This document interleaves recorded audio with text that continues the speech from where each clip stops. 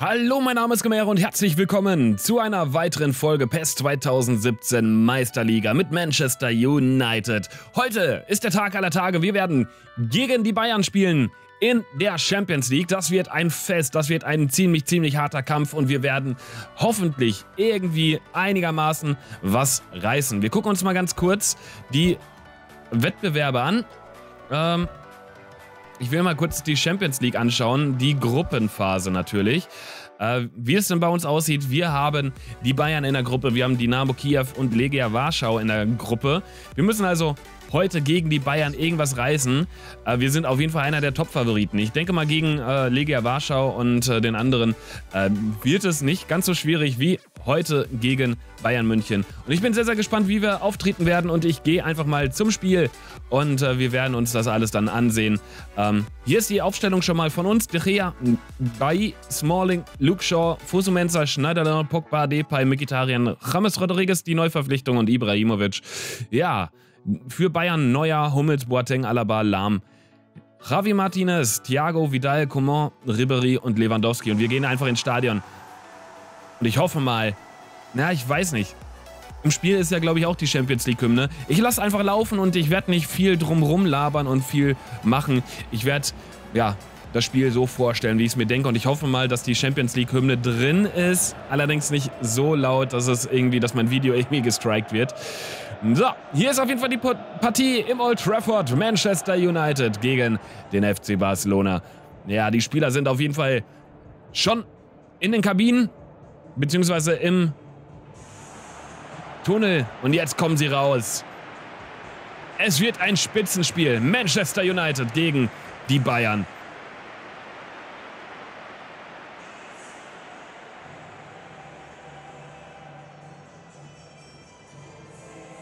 Sie sind die Champions. Tja, das ist eine wirklich gute Partie hier. Die Bayern gegen Manchester United. Na, die Gamefaces sind nicht allzu doll. Und es ruckelt ziemlich heftig, muss ich sagen. Also bei mir hackelt es ganz schön.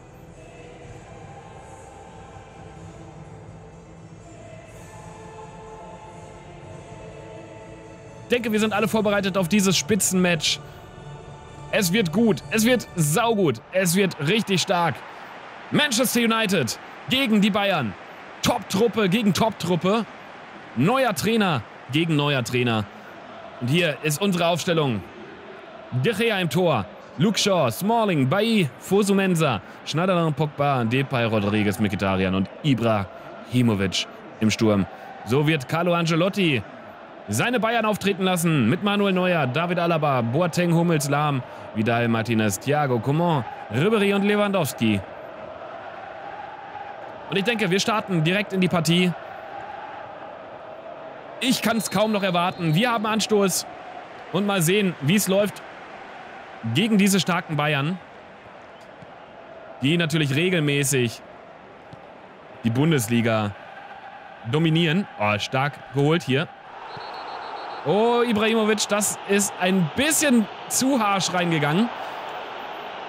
Er wollte direkt zeigen, so was Sache ist. Direkt zeigen, so, wer hier im Haus ist. Und da haut er dann direkt erstmal Jerome Boateng um. Gibt natürlich die gelbe Karte, muss, das muss. Schöner Kopfball.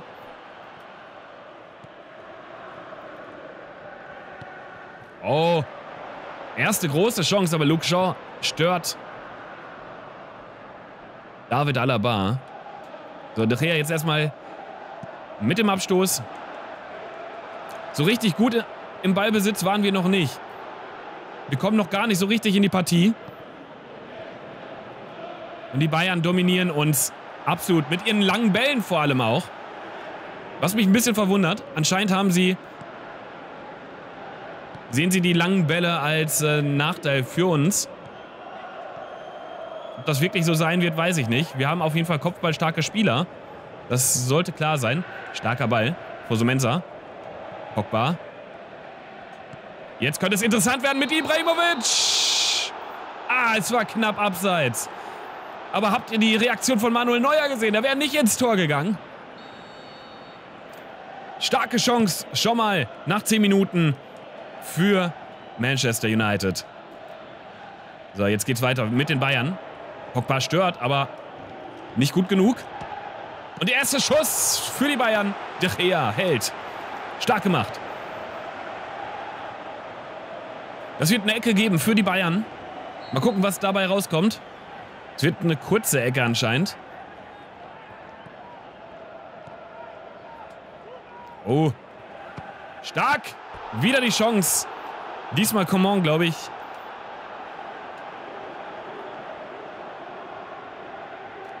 Ja, so langsam haben die Bayern hier die Überhand.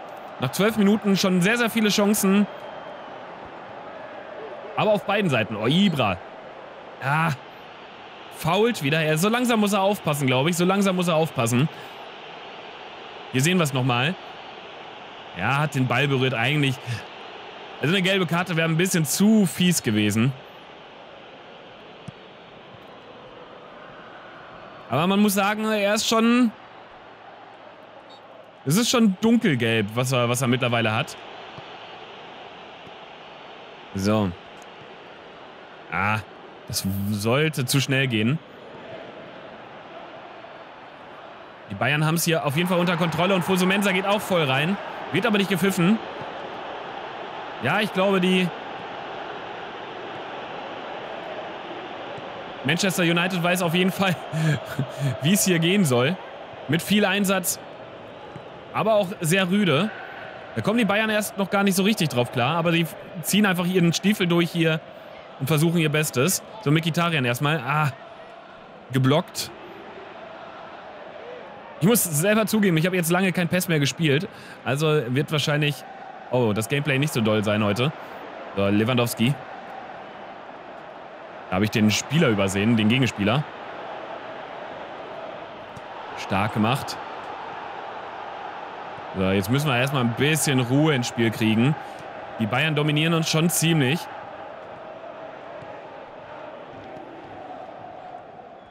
Läuft sich auch keiner so wirklich frei.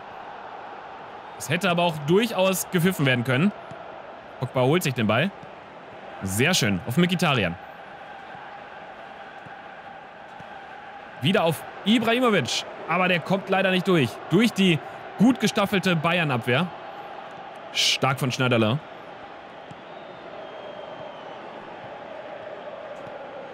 Sehr stark. Wieder Mikitarian. Auf Fosumensa. Fosumensa. Vielleicht mit der Flanke. Nein. Oh. Da wird von den Fans gepfiffen. Die wollen eigentlich, die haben einen Elfmeter gesehen hier. Ich habe selber nicht gesehen, was da passiert ist. Eventuell Handspiel, ich weiß es nicht. So, Mikitarian wieder. Ah, schlechter Ball. Weiter geht's für die Bayern. Oh, der war, der Ball war stark, der war super stark. Luke Shaw versucht irgendwie alles zu retten. Smalling ist auch da. Alles gut. So, wieder Manchester United. Die Bayern mit einem hervorragenden Pressing hier. Pogba weiß selber nicht, wo er hinspielen soll. Aber jetzt der oh, lange Ball. Schade. Gut von Rodriguez gelaufen, der bisher noch kaum zu sehen war. Aber ist auch gerade kein Offensivfest von Manchester United. Manchester United versucht hier, so gut es geht, irgendwie zu verteidigen. So, jetzt Rames Rodriguez. Rames Rodriguez schön auf Pogba. Der wieder zurück auf Rames. Der schießt! 1 zu 0 für Manchester United. James Rodriguez in seinem Debüt mit dem Tor. War es ein schöner Treffer. Sehr, sehr schön gesehen von Paul Pogba. James Rodriguez spielt sich frei und macht das Ding. Ein super schöner Treffer hier. Hier sehen wir es nochmal. James Rodriguez auf Paul Pogba. Pogba wieder zurück. Auf James Rodriguez. Der setzt sich gegen Boateng durch. Und dann letztendlich, natürlich, gegen wen sonst? Gegen Manuel Neuer. 1 zu 0 für Manchester United hier jetzt nach 39 Minuten. Starkes Ding. Sehr, sehr starkes Ding. Schön gemacht. Und jetzt muss, müssen die Bayern erstmal wieder nachlegen. Und das wird schwer gegen eine gut gestaffelte, eigentlich gut gestaffelte Manchester United 11. Weil sicher sind sie eigentlich auch. Oh, wieder. Rodriguez. Auf Ibra, aber ach, der kann den Ball nicht festhalten.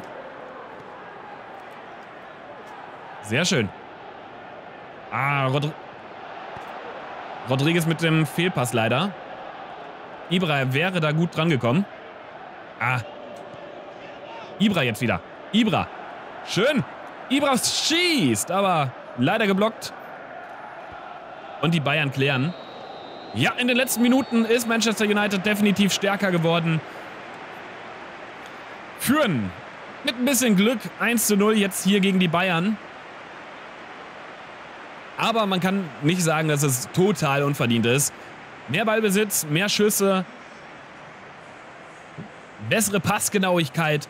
Also eigentlich, die Statistik spricht auf jeden Fall für Manchester United. Eher für Manchester United als für die Bayern. Ich habe es ein bisschen anders gesehen, so was äh, ja, die Spielanteile angeht. Die Bayern waren schon eher in der gefährlichen Zone als Manchester United. Manchester hält den Ball eher so in der eigenen Hälfte. Und jetzt macht Bayern, machen die Bayern sehr viel Druck. Ribéry ist mehr mittig jetzt. Oh, starker Ball! Vidal! 1 zu 1. Ja, das kam jetzt aus dem Nichts. Das kam aus dem Nichts. Das müssen wir uns nochmal ansehen. Das müssen wir uns auf jeden Fall nochmal ansehen. Die Game Faces sind übrigens individuell erstellt. Das sind keine echten Game Faces aus dem Spiel. Nur, dass ihr da Bescheid wisst. Für die ganzen FIFA-Hater oder die ganzen PES-Hater, die ganzen FIFA-Leute draußen. Also die Bayern sind nicht original erstellt. Das ist äh, Fan erstellt. Und hier sehen wir das Tor. Ja, De Gea keine Chance. Starkes Ding. Und damit ist alles wieder offen. Die eigentlich so schöne Führung für Manchester United ist verpufft. Luke Shaw. Jetzt wird es nicht leichter. Rodriguez sehr stark. Oh, und Manuel Neuer kann halten. Die Fans wollen natürlich wieder den Elfmeter. Es war zwar ein Zweikampf, aber ich glaube, der war fair. So, jetzt können natürlich die Bayern was zeigen. 1-1 spielt ihnen natürlich in die Karten. Vor allem so kurz nach der Halbzeit. Das ist natürlich der perfekte Zeitpunkt gewesen hier.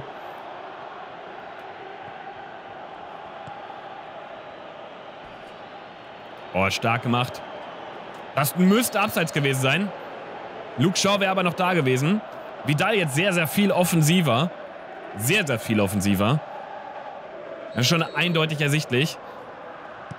Die Formationsänderung von Angelotti hat gefruchtet. So. Schöner Ball auf Mikitarian. Der setzt sich durch. Kann auch flanken. Ah, die Flanke kam ein bisschen zu weit. Schade. Der hätte vielleicht ja, der Vorteil abgebrochen werden müssen. Oh. Uh, Missverständnis zwischen Neuer und Boateng. Keiner wollte so wirklich hin. Hätte Ibra ein bisschen Druck gemacht, dann wäre es äh, sehr, sehr hart geworden. Oh, sehr stark. Aber Fosu Mensa ist am Start. Sehr schön. So. Oh, sehr schön gespielt. Jetzt auf Mikitarian. Mikitarian. Der auf Mensa. Und Ibra. Riesenchance. Und wieder die Flanke. Aber auch wieder hier nichts geworden. Und der Schuss geblockt. Wäre der nicht geblockt worden, dann wäre das vielleicht das Tor gewesen. Wir gucken uns das nochmal an. Pogba sehr schön. Und dann der Schuss von Rames. Ah, knapp am Tor vorbei. Das wäre das zweite Tor von Rames gewesen. Jetzt aber erstmal die Ecke. Mal gucken, ob die was wird. Ja. Ah, das war zu viel, das war zu viel. Geht aber noch. Ah. Freund und Feind springen dran vorbei.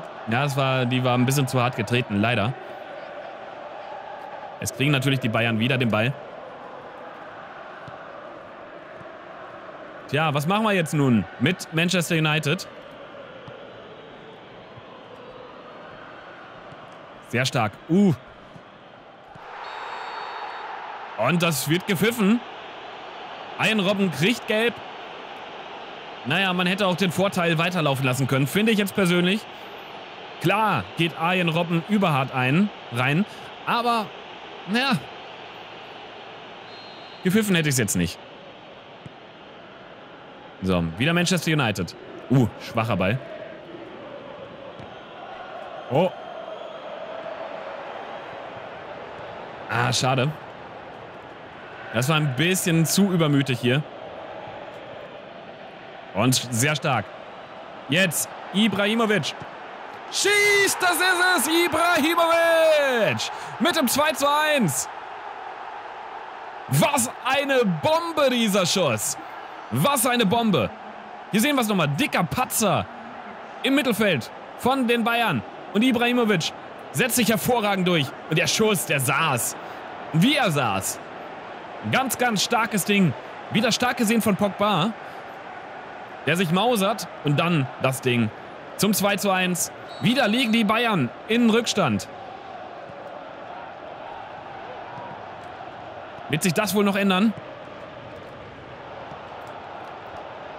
Und Manchester United passt auf.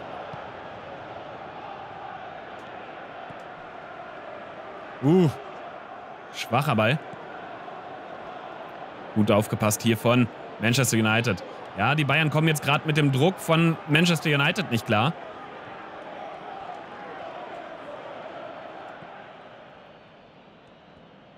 Manchester geht voll auf den Mann.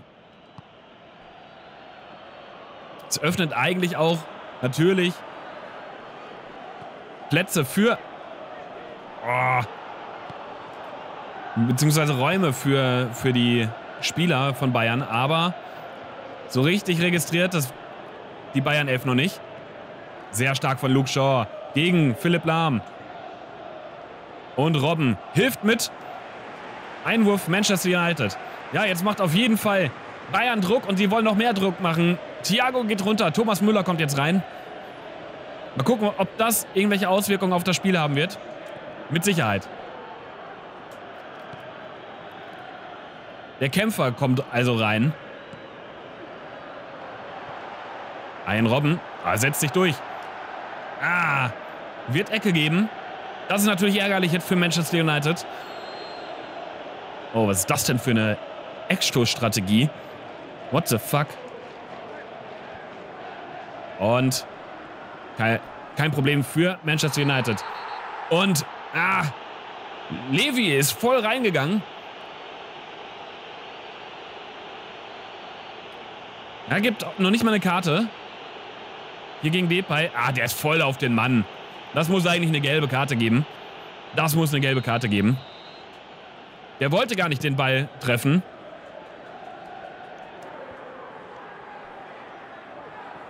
Oh, sehr stark.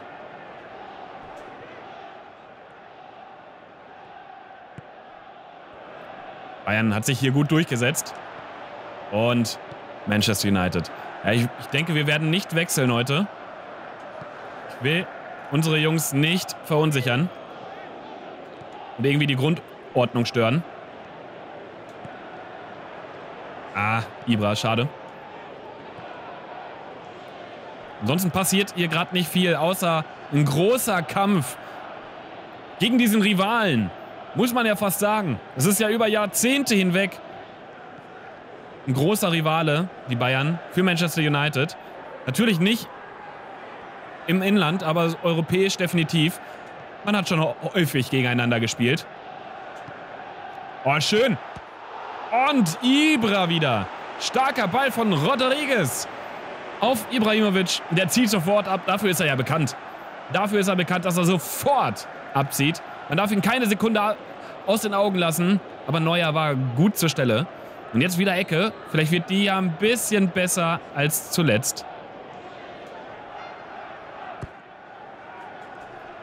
Ah. Wieder verpassen Freund und Feind. Kommt Thomas Müller noch an den Ball? Ja, kommt er.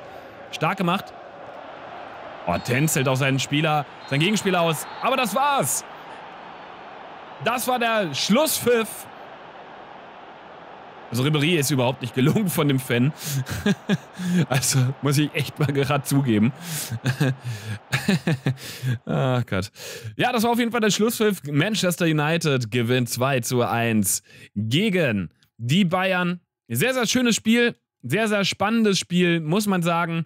Und, die, und Manchester United, ich finde, sie haben einigermaßen zu Recht hier gewonnen. Hatten mehr Schüsse. Ein ähm, bisschen im Ballbesitz eingebüßt im Vergleich zur ersten Halbzeit. Also erste Halbzeit war eher ausgeglichen. Bayern hatte in der zweiten Halbzeit einige Vorteile, zumindest in den ersten 15 Minuten. Also ich denke mal, das Ergebnis 2 zu 1 geht eigentlich in Ordnung. Also es hätte auch 2-1 für die Bayern ausgehen können, aber naja, wir haben einfach getroffen, wir haben einfach besser getroffen und so soll das natürlich auch sein. Wir gucken uns die anderen Ergebnisse an. Dynamo Kiew 3-1 gegen Legia Warschau, das interessiert uns natürlich auch, ist unsere Gruppe. Napoli 1-1 gegen Sevilla, Sporting 1-1 gegen Brügge, Paris Saint-Germain gewinnt gegen Tottenham Hotspur mit 3 zu 0. Ähm, Basel gewinnt 1 zu 0 gegen ZSK Moskau. Inter Mailand gewinnt 3 zu 1 gegen Real Madrid und äh, Dynamo Zagreb gewinnt gegen Bayern 04 Leverkusen. Das hätte ich auch nicht gedacht. Und hier sind nochmal die anderen Ergebnisse. Ähm, Borussia Dortmund 0 zu 2 gegen PSV Eindhoven. Eindhoven gewinnt also 2-0 gegen die Borussia. Besiktas 0-0 gegen Celtic, Arsenal 1-0 gegen Benfica, Lyon gewinnt 2-0 gegen Wervestadt, wer auch immer das ist, Barcelona 1-0 gegen Leicester City, Florenz 4-1 gegen Myth Loxanti. Und Atletico Madrid 2-2 gegen Juventus, Ma äh, Ju Juventus Madrid, genau, Juventus Turin. Und äh, Nizza 3-1 gegen Pablo Viestin. Und so. So, hier sieht man die Gruppe, wir sind auf Platz 2 Dadurch, dass wir nur eine 1er Tordifferenz haben. Die Bayern haben verloren, deswegen 0 Punkte und Legia Warschau hat auch verloren, deswegen 0 Punkte. So, also ich bin auf jeden Fall sehr, sehr zufrieden, dass wir hier äh, gut, gut, gut, gut, gut, gut gespielt haben und äh, gegen die Bayern gewinnen konnten. Das ist schon mal sehr, sehr nice. Fusumensa verbessert sich momentan ungemein. Also dadurch, dass er jetzt auch spielt, wird es noch krasser, finde ich jetzt persönlich. Also sehr gut.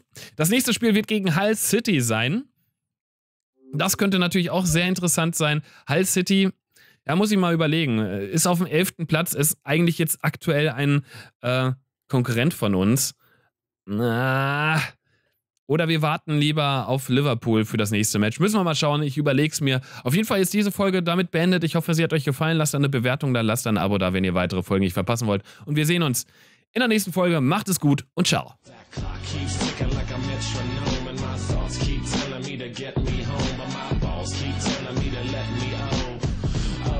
Just let me off. That clock keeps ticking like a metronome, and my thoughts keep telling me to get me home, but my balls keep telling me to let me off. Fuck all that shit, just let me go.